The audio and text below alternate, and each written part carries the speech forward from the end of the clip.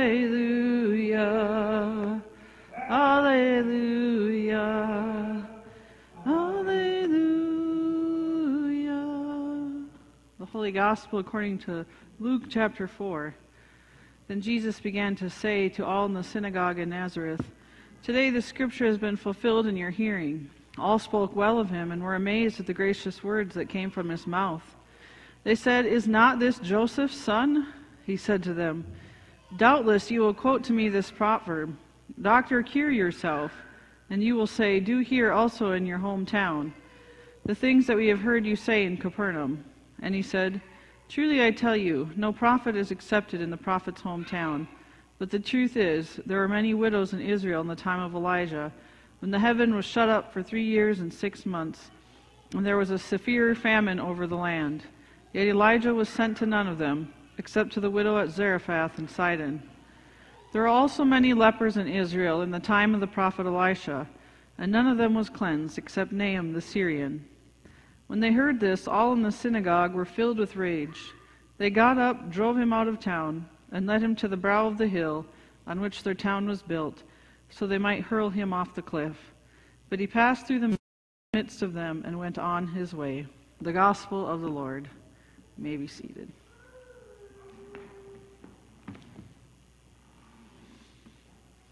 Grace and peace to you from our Lord and Savior Jesus Christ. Amen.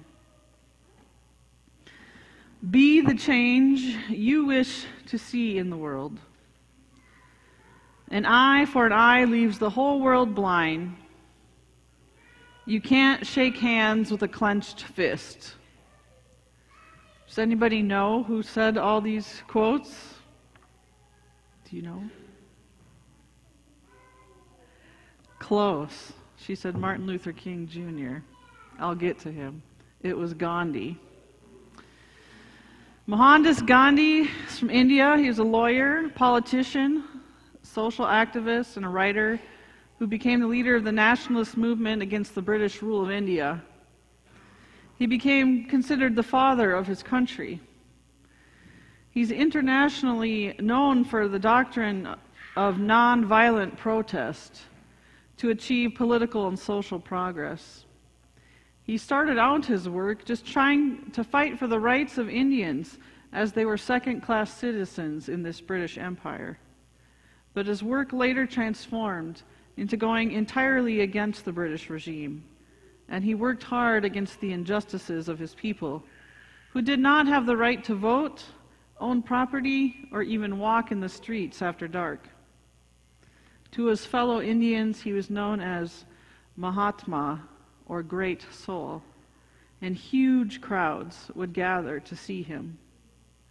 He worked diligently to unite diverse communities, regardless of race or religion, and he brought them together to live as equals, including treating his own family as equal to everyone else. As you can imagine, it was not easy work. It was met with resistance and violence, but he never retaliated with violence, and he never used violence as power. He told his people that they couldn't that hate that they could not rise out of hate.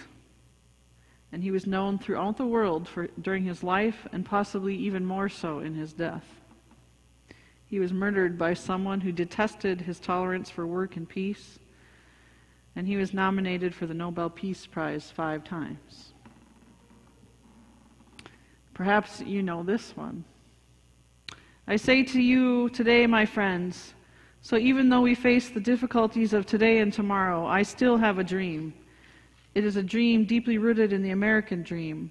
I have a dream that my four little children will one day live in a nation where they will not be judged by the color of their skin, but by the content of their character. Martin Luther King Jr. Someone that I'm pretty sure needs no introduction to you also a peacemaker, a leader in our own country for civil rights movement from the 1950s until his death in 1968. Like Gandhi, he was a leader of nonviolent tactics. He organized marches and boycotts, but never resulted to violence. His leadership was key for ending segregation in our country. And he was known around the world for using peaceful approaches for big problems. Also assassinated, he was awarded the Nobel Peace Prize in 1964. Both of these men set out to cross boundaries that people had put in place. And they both worked to bring light to those who were outside the boundaries, to bring justice and equality to all people, regardless of race or religion or economic status. And they cared for those on the fringe, and they worked hard to get them off the fringe. And our gospel today seems similar to both of those men's lives. Jesus shows up in his hometown and at first impresses those who must have watched him grow up. But while his message at first impressed, it did turn to disdain. Now, it might be helpful to remember exactly what was on that scroll that he was reading off. We actually heard that in last week's gospel. Uh, but here it is again, just a couple just one verse. The Spirit of the Lord is upon me, because he has anointed me to bring good news to the poor. He has sent me to proclaim release to the captives and recovery of sight to the blind, to let the oppressed go free, to proclaim the year of the Lord's favor. Jesus doesn't just show up in his hometown to show favoritism to those he grew up with.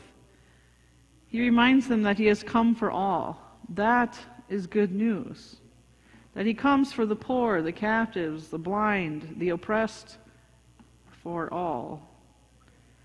But what sort of reaction does this crowd have? Well, they want to throw him off a cliff. The good news he brings isn't exactly the good news they wanted to hear. It means it crosses those boundaries that they themselves have made. Now, this is still good news for us in a couple ways. One, that Jesus came for all people, for you, no matter where you find yourself. The other good news is that this kind of love that Jesus brings for all people will prevail, and it will prevail through us. Now, given the two examples I gave already, we know it's not easy, and, and most likely not all of us will be at the level of Gandhi or Martin Luther King Jr. But we are at some level just the same, and we need it.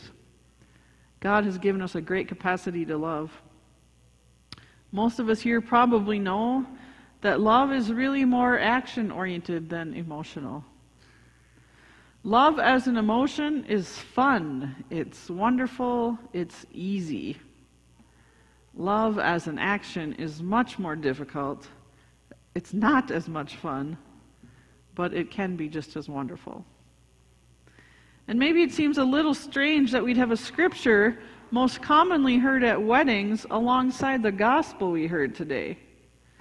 Now, you might already know this, but that text wasn't written for like a couple in love, but for a community that was struggling to love each other.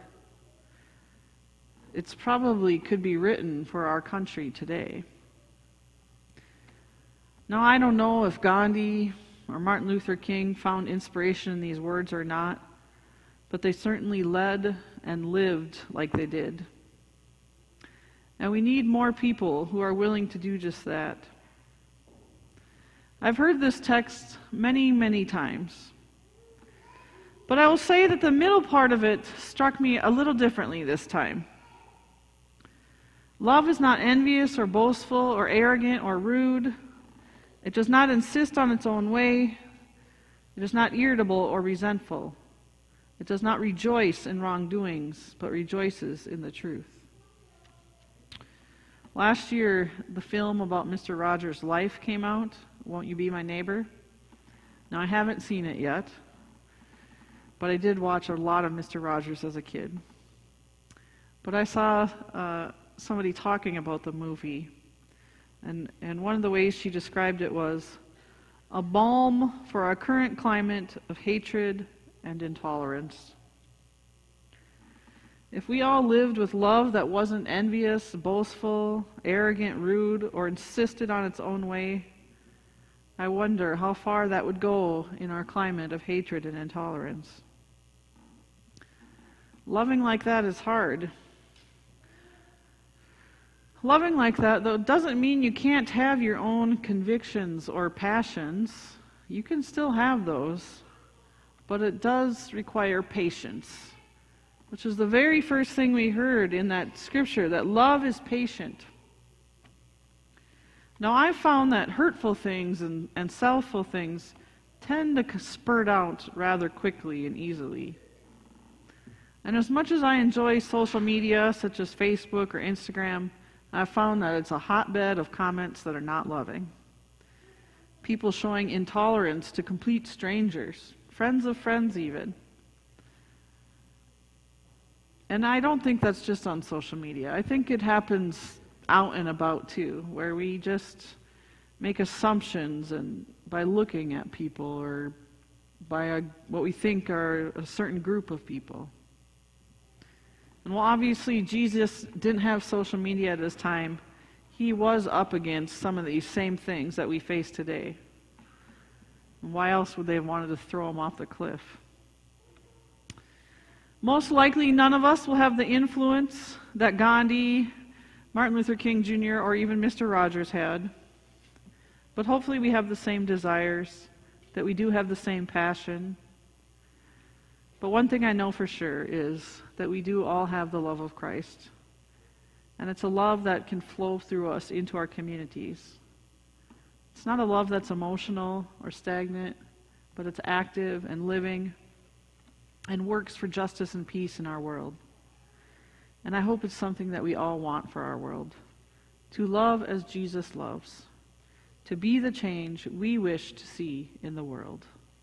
Amen.